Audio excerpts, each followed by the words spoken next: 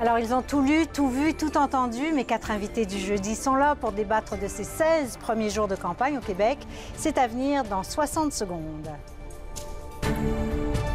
Vileda vous offre la chance de gagner un voyage pour quatre au Costa Rica. Imaginez 10 jours au paradis. Recherchez les emballages spécialement identifiés en magasin. Détails et inscriptions sur Facebook. Quand vous roulez sur les routes du Québec, prenez le temps de faire une petite pause dans un village relais. Vous y découvrirez des paysages et des attraits pleins de charme. Et surtout, vous découvrirez le sourire des gens d'ici. Au resto, à la station-service, au dépanneur, en fait, partout. Les villages relais. À travers leurs attraits et leurs services, 365 jours par année, c'est tout le Québec qui vous sourit. Vileda vous offre la chance de gagner un voyage pour quatre au Costa Rica. Imaginez 10 jours au paradis. Recherchez les emballages spécialement identifiés en magasin. Détails et inscriptions sur Facebook.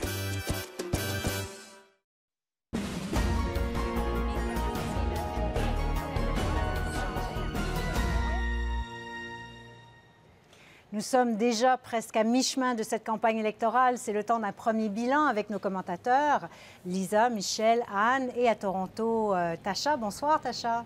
Bonsoir. Bonsoir à vous Bonsoir. trois. Bonsoir. Alors, parlons d'abord de ce sondage paru ce matin. Ce sondage qui confirme un peu les sondages précédents. Alors, le PQ accroît son avance. Il est à 34% Euh, La CAQ semble sur une lancée. François Legault gagne 4 points. La CAQ est à 25% Les libéraux en perdent et sont à 27% Ils perdent 2 points.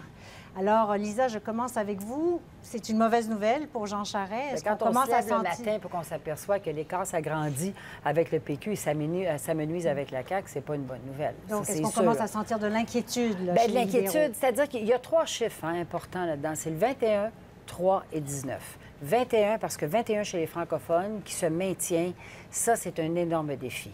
3 parce que troisième partie chez les francophones, mais aussi troisième mandat. Donc, il y a quand même le poids, l'usure, évidemment, du, euh, de la gouvernance. Mais 19, 19% d'indécis qui fait en sorte que les... Ça, ça en fait beaucoup, là, C'est ça, c'est hein. beaucoup, ça. Beaucoup d'indécis. là. C'est un gros, gros bassin de gens qui, à l'époque, par exemple, ont voté pour la DQ, ont emmené la DQ en, en opposition officielle. Donc, c'est- un espoir parce qu'on se dit, bon, ben les gens reviennent de vacances, euh, l'opinion n'est pas cristallisée, donc les débats vont faire en sorte que Jean Charest est un bon débatteur, les débats vont faire, vont faire en sorte que ça va aider le PQ, euh, le- ça va aider les libéraux. Bon, alors, Anne, vous, votre réaction à ce sondage? Mais quand j'ai vu ces chiffres-là, ça m'a fait penser aux chiffres à peu près à la mi-campagne fédérale.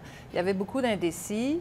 Il y avait euh, une espèce de volatilité dans l'air et c'est ça qui a, qui a donné le- le- le- la vague Cette orange. vague orange Et Jack Layton. Là, on a un peu la même atmosphère. Les gens sont sceptiques, ils savent pas sur quel pied danser. euh, ils regardent le- les deux vieux partis. Il y a beaucoup d'usure euh, associée au Parti libéral.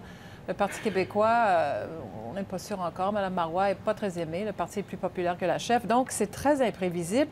Et il y a aussi une, une espèce d'opportunisme qui se dégage autour de tout ça, là, qui fait que les gens ne savent pas encore. Alors, le débat va beaucoup définir, je pense, euh, les- questions. Alors, Tacha, cette lancée de, de François Legault, enfin, qui, ça Mm. semble être une lancée là, qui se confirme, ça vous surprend? Euh, ça me surprend un peu. Ça, ça me surprend que M. Legault est maintenant euh, le, le chef le plus populaire, le chef qu'on Oui, dirait lui. ferait le meilleur 25 premier ministre. des gens pensent qu'il ferait le meilleur premier ministre. Oui, ça, ça m'a surpris beaucoup parce que c'est sûr que c'est pas un politicien le plus charismatique euh, des trois, je dirais. Et euh, si lui, personnellement, une- un des grands doutes à- au sort de son parti, c'est lui, est-ce que c'est un, po- un- potentiellement un premier ministre? Est-ce qu'il a une équipe aussi euh, qui pourrait faire la job? C'était le, le défi de Mario Dumont, d'ailleurs, avec l'ADQ dans les anciens temps. Alors, on va voir si lui, ça continue de, de devenir plus populaire. Ça, c'est un problème pour M. Charret aussi. Évidemment, les chiffres montrent que euh, le CAC prend au vote libéral là où c'est important parmi les francophones. Et ça, c'est un autre grand problème pour M. Charret. Parce que ces 19 d'indécis, là, Michel, ils viennent, ils, se- ce sont Ils- ils viennent- surtout, ils viennent surtout des, des, libéraux. Et, et j'ai l'impression qu'ils sont un peu en transit vers la CAQ parce que vous verrez jamais un libéral aller au PQ et vice-versa. Mhm. Alors, euh, je, je regarde le sondage. euh, Il y a plusieurs éléments qui me donnent à penser que la CAQ n'a pas encore fait le plein de ses votes, que la, la- la- la- la hausse va se poursuivre. Alors que le PQ, euh, j'ai l'impression qu'ils arrivent passablement proche du, du plafond, là, à 34% parce qu'il y a toujours un bloc de 10, plus ou moins 10% de souverainistes progressistes qui sont euh, à là, Québec qui vont- oui, solidaire ou à Option nationale nationale et- et, qui ne hein. reviendront pas, je pense, au PQ. Mais à 34 euh, il est aux portes d'un gouvernement possiblement majoritaire. Alors, ce n'est pas une mauvaise position actuellement pour le PQ, bien au contraire. Et paradoxalement, je trouve qu'il le doit un peu à François Legault. À partir du moment où M. Legault a dit « je voterai non au référendum je, suis, je suis devenu un fédéraliste, dans le fond. Il n'y a pas beaucoup de souverainistes mous, même mous, qui peuvent aller maintenant à la CAQ de la même façon qu'il n'y a pas beaucoup de fédéralistes fatigués euh, qui, qui peuvent aller chez Mme Mar- chez OPQ, même si Mme Marois les a invités. Alors, euh, la CAQ, je pense, est encore en, en progression et le PQ est, est passablement stabilisé. Et c'est un peu difficile quand on est en tête là, dans, les, dans les Ouais, ça, sondages. il faut rester là. Moi, je pense qu'avant le débat, Mme Marois va avoir un très gros défi. Le défi de prouver qu'elle est à 34 et prouver effectivement la, hauteur, si on veut, de, de- des attentes euh, parce que le- les sondages le mettent en- la mettent en avance. Alors que euh, François Legault a le défi, son premier débat, de continuer de se faire connaître, d'être convaincant, de, présenter son- évidemment son programme. Et Jean Charest, lui, bien, évidemment, lui a le défi de convaincre. Convaincre qu'après trois mandats, il c'est encore pertinent et que, lui, il avait dit que l'économie, ça, ça- ça devient son leitmotiv dans son dossier numéro un et que ce dossier-là, c'est le dossier capital pour le Québec. Alors, ce sondage nous apprend aussi que Mme Marois a un grand appui des femmes, presque 40 par rapport à M. Legault, par exemple. Comment est-ce qu'on explique ça? Est-ce que ça ramène toute la question du sexisme en politique? Moi, je pense qu'il y a un peu euh, de ça dans, dans, ce dé- dans ces chiffres-là. Et c'est certainement pas parce que les femmes sont réfractaires au changement, comme M. Legault l'a dit aujourd'hui. Ça, ça m'a. Trouvé ça un peu vexant de sa part, alors qu'on pourrait lui reprocher qu'il n'ait pas beaucoup de candidates fortes dans ses, euh, dans ses candidats. Ce qui est faux, Alors, Anne, hein, ben, parce qu'il y a quand même beaucoup de candidats Ben, il qui sont... Il y en a moins, il y a notamment, moins euh, qu'au Parti québécois, ni au Parti euh, libéral, et certainement euh, beaucoup moins qu'à Québec solidaire. Alors, euh, les femmes, en général, n'aiment pas euh, les partis de, po- de- de droite populistes ou qui tirent dans cette tendance-là. Et je pense que c'est un- ça va être un gros problème pour M. Legault parce qu'il a besoin de ces votes-là pour, euh, pour devancer euh, le Parti libéral ou le Parti québécois. Bon, c'est une campagne qui est intéressante quand même parce qu'on parle. Pas de- on parle un peu des enjeux, mais pas beaucoup. Et il y a toutes sortes d'autres sujets qui s'invitent dans la campagne. Il y a eu les jeunes, il y a eu le débat sur la laïcité de- depuis quelques jours. Mm. Tacha, euh, c'est un débat qui a fait réagir, ça, hein, cette, ce, débat sur l'identitaire, du côté du reste du Canada. Absolument. Ça a oui, fait c'est- beaucoup, ça euh, fait jaser. sursauter un peu. Oui, beaucoup jaser parce que ça, euh, ça, ça fait frissonner un peu aussi euh, la charte, euh, la charte de la laïcité, le- la charte séculaire. euh, les changements qui seraient apportés euh, permettant pas les gens à porter des symboles religieux, ce ne sont pas des symboles essentiellement chrétiens. C'est quelque chose qui est très mal vu dans le reste du Canada. Aussi, la question de la francisation euh, des entreprises, le fait que les jeunes ne pourraient pas choisir leur collège euh, s'ils euh, s'ils sont francophones ou s'ils ne sont pas euh, anglophones. C'est quelque chose aussi qui fait, qui fait dire aux gens, ben, est-ce que c'est encore les débats des années 70, quoi? Euh, c'est pas quelque chose qui met l'emphase sur l'économie, sur les vrais enjeux que les Québécois veulent discuter. C'est encore identitaire, ça polarise et essentiellement, ça aide, je pense, le PQ à, à solidifier sa base. Oui, mais ça- on voit bien que c'est un débat qui n'est pas réglé, là, celui de la Non, laïcité un- au Québec, très sensible. Mais à qui ça profite? Euh, Tacha Ben, dit ça profite euh, au Parti que, québécois? vous savez, la, la semaine dernière, euh, Céline, on se disait le message du Parti québécois est confus, on ne sait pas trop où ils s'en vont. Cette fois-ci, je pense qu'ils ont recentré le- leur message sur, le- sur leur marque de co- le commerce, en fait, qui est l'identité. Alors, dès samedi dernier, on l'a vu, la langue, ensuite la laïcité. Euh, c'est la clientèle du, du PQ et c'est- pas un débat qui est nouveau, ça. On le savait qu'il y avait une charte de la laïcité qui s'en vient. Sauf qu'au PQ, il y a une espèce de paradoxe si on prend la charte de la laïcité, l'establishment, les- les- l'intelligentsia, devrais-je dire, péquiste, elle est pour une laïcité intégrale. Mais la réalité de leur électorat, en particulier dans les régions, euh, il est pas mal moins laïque et tient beaucoup à son crucifix. Alors, euh, ce que Mme Benhabib a dit... Oui, la ça- candidate dans Trois-Rivières, s'est fait attaquer par le maire Elle reflétait, je pense, très bien ce que l'intelligentsia péquiste pense, c'est-à-dire qu'on est laïque ou on ne l'est pas. On ne l'est pas juste pour certains puis pas pour d'autres. Alors que l'électorat péquiste, lui, Mais veut ça- conserver ses ça, symboles religieux. c'est Alors, c'est une contradiction permanente.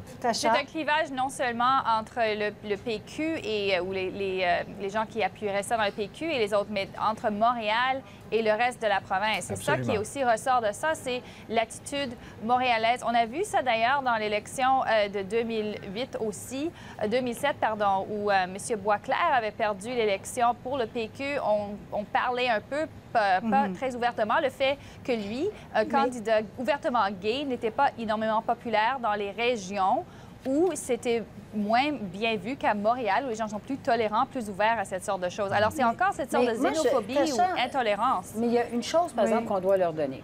C'est qu'ils n'ont pas fait ça à visage, euh, c'est-à-dire euh, caché, là, en disant, bon, ben euh, on va se faire élire, là, puis après ça, nous autres, on, on va en faire une charte de la laïcité, puis on va faire notre Non, ils l'ont présenté. va- Alors, ils sont arrivés, on est en campagne électorale, ils l'ont présenté, et ils ont eu le courage de faire ça. Ça, Oh, là-dessus, par exemple, québécois, oui, Lisa. ils ont eu le c'est courage que de je faire comprends? ça. Très bien, oui, parce qu'ils ont eu le courage de faire ça. Et quand quelque part, l'électeur, l'électorat, qu'il soit anglophone, francophone, quoi que ce soit, au moins sait où, il le Parti québécois se situe dans ce, dans ce domaine-là. Mais je pense pas que ce soit un acte de courage, tellement que c'est euh, de la viande rouge pour la base Mm. euh, nationaliste qui craint l'immigration. Et je trouve ça regrettable de, de faire ça comme ça. Oui, mais bien- ça mais il y a beaucoup de Québécois qui veulent des balises quand même dans ce débat-là. On l'a Oui, entendu à la on- commission Bouchard-Taylor. C'est sûr, mais quand on regarde le- la réalité de l'immigration au Québec, les immigrants du Québec sont moins pratiquants, moins devots que les Québécois de souche. Ils arrivent ici pour fuir l'intégrisme. C'est sûr qu'ils ont des mosquées, des pratiques différentes, mais en général, ils sont beaucoup plus séculaires que la moyenne des Québécois. Et cette discussion-là, le- le- les paroles regrettables du maire du Saguenay, ça vient confirmer le stéréotype du Canada anglais et des anglophones que c'est tribal, le Québec. Et euh, à CJD, Oui, ce qu'est-ce que matin, c'était préféré? vraiment, on, on évoquait M. Parizeau, l'argent et le vote ethnique. Là. Mais Anne, qu'est-ce que tu aurais ah ouais. préféré? Aurais-tu préféré qu'on se dise, bon, ben, qu'on se fait élire? C'est un peu comme la souveraineté où on n'en parle pas beaucoup. On sait qu'on est souverainiste, mais on n'en parle pas beaucoup. Hein? Alors, on se fait élire, puis après ça, on arrive, puis là, surprise. Laïcité, Constitution québécoise, citoyenneté québécoise, souveraineté. Vous vous dites, c'est bien qu'il mis sur la table. Qu'on mette ça sur la le table le le temps. débat, il n'a pas été réglé par Bouchard-Taylor, on le Non, sait bien. Il y a un projet qui est devant l'Assemblée nationale et qui est tabletté parce que personne n'ose y toucher. Euh, et la, la façon dont les, les deux autres partis réagissent aux propos de Mme Benhabib et, et la polémique avec le, le maire de, de Saguenay, c'est très intéressant. Euh, les libéraux, aujourd'hui, le ministre euh, de la région a, a encensé M. Oui, monsieur, voyons, Tremblay, a encensé le maire. Tremblay. Et M. Legault, il ne parle pas beaucoup là-dedans, mais dans sa plateforme, il y en a une, charte de la laïcité. Mhm, elle, est, elle est un peu moins contraignante, elle est plus dans le sens de la laïcité ouverte de Bouchard-Taylor. Toute cette actuel- controverse? actuellement, je pense que le PQ profite pour solidifier sa base. C'est c'est Ouais. 30 quelques pourcents aiment le discours de Mme Marois. Alors- et, et avec 34% c'est suffisant pour se faire élire. Alors, il nous ça, reste ça- juste 30 secondes. Je veux juste qu'on parle du débat quand même parce qu'on ne se revoit pas avant ça. Donc, qui a le plus à perdre, à gagner rapidement? Tacha. Euh, le plus à perdre, c'est Mme Marois. C'est toujours le, le front-runner qui a le, euh, le plus à perdre. Et je pense qu'elle doit ne pas faire de gaffe. Si elle ne fait pas de gaffe, elle va gagner. Monsieur Charest, c'est sûr, lui, euh, c'est un grand combattant, un grand débatteur. C'est lui qui doit vraiment essayer de faire le grand knockout punch, comme on Mais il va falloir qu'il soit très, très bon, Il va M. falloir Oui, mais mais on, on le voit par la pub qu'il il va être agressif. Oui, oui, ça, je pense que c'est on avant. sait qu'il est capable mais, d'être mais très, très Mme bon. Marois, vous savez, elle, Oui. elle va jouer conservateur, effectivement, parce qu'elle n'a pas besoin, elle, elle a suffi de protéger son avance. Mais il ne faudrait pas la sous-estimer. En 2008, souvenez-vous, elle a gagné le débat assez nettement, à mon sens. Alors, euh, ça ne sera pas si que- évident que ça pour, Madame, que- euh, pour, pour, pour M. Charest là, de faire le knockout. Et M. Legault a beaucoup à prouver parce que là, C'est son premier. c'est son premier. Oui. Il a peu d'expérience et les gens vont regarder est-ce que ce gars-là peut vraiment être un premier ministre. Alors, il c'est y a la un première gros fois. enjeu pour M. C'est la aussi. première Et on fois va dans terminer notre histoire où il y a un débat, trois face à face.